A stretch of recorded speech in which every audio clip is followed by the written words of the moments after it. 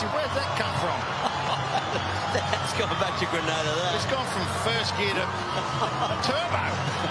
History of the Big Bash, but Oh, that is perfection. Yeah, let look at it now. that is pure, pure Big Bash entertainment. Oh, oh what an inclusion. We love him already.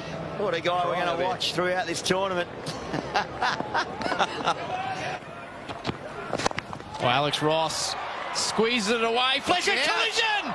Oh, the ball goes down. You could see it happening. The only two blokes that didn't know it was going to happen were Hinchcliffe and Fletcher. Do you see this happen a lot? He actually had it, uh, Spice Man, but Ron Burgundy's careered into him. So glad they're all right there. he had it Having a wrestle on the ground. Yeah. This time he gives him whip, frees the arm. Fletcher! Oh, hello. Spice Man! He's dancing as he should be. Wow, what a catch! Catch had to move. Good balance just before the catch.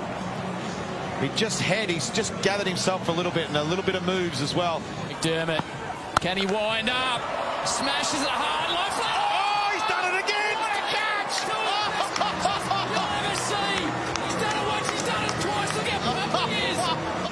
Absolutely creamed it. What a catch. Save six. 60 metres away. He only had to move a couple of metres. Had to dive again. And does the limbo. Full toss. Miron can't get there. Hits the rope. Down. Long. Over the top. Now he's cranking. Gone leg side. A full toss. Third, sixth of the night. Can he get it? Oh, he gets something. Does he get enough? Easily. Full oh, toss. course he Oh, does. Two full tosses in there. He's come good, the Spice Man.